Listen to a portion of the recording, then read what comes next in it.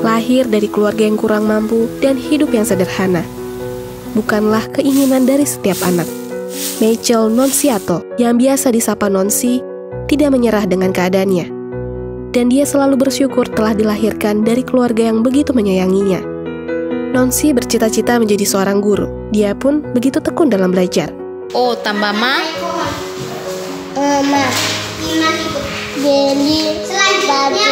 Bukan hanya itu, Nonsi juga sangat rajin dalam membantu orang tuanya di rumah.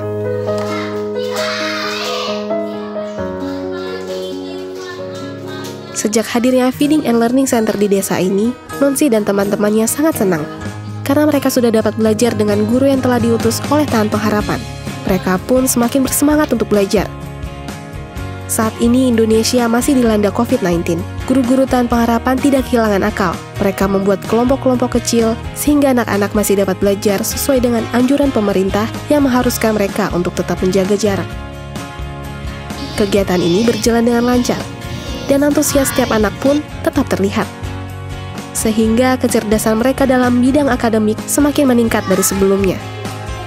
Dan orang tua pun sangat bersyukur dengan hadirnya Tahan Pengharapan yang telah peduli dengan pendidikan anak-anak mereka.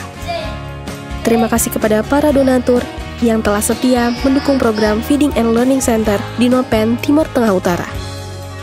Bersama kita mendukung pendidikan di pedalaman Indonesia, sehingga mereka dapat memiliki masa depan yang lebih baik.